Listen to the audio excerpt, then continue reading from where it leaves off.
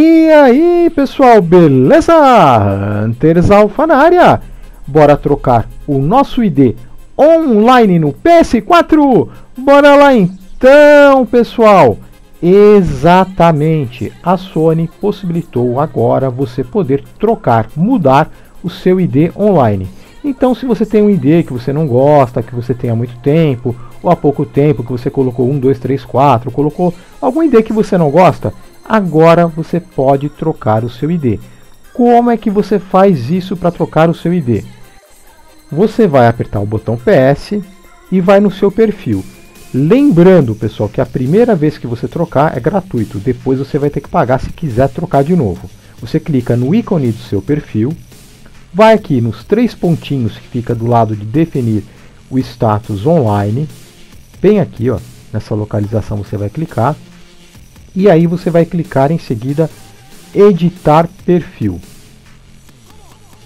Vai abrir essa tela, aí você vai clicar em ID online, altere seu ID online.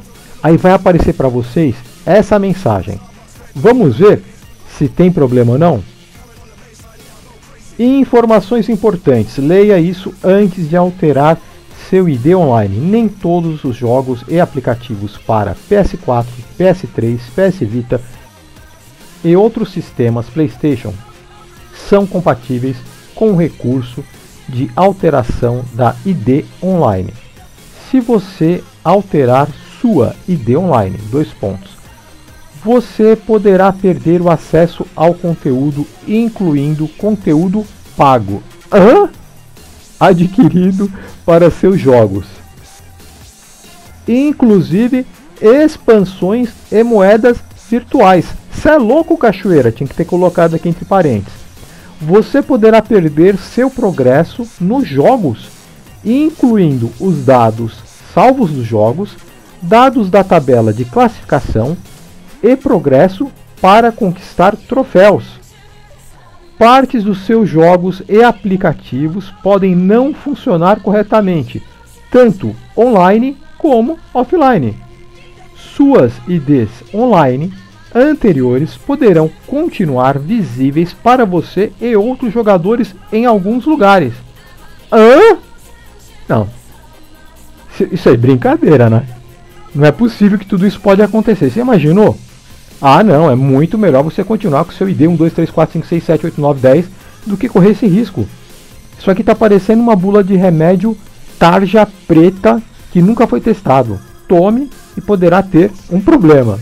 Não, pessoal.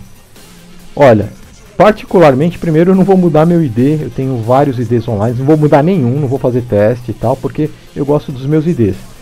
Se você quer trocar, não tem nada a perder, começou ontem no jogo e colocou o ID errado, beleza, você pode fazer isso, é gratuito, não vai ter problema nenhum para você. Agora, para outros jogadores, isso é muito arriscado ainda.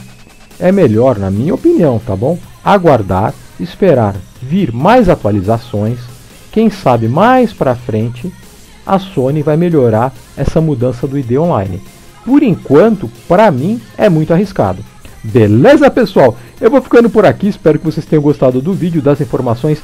Like no vídeo, compartilhe com os amigos nas redes sociais. Quem não é inscrito no canal ainda, se inscreve e ative o sininho.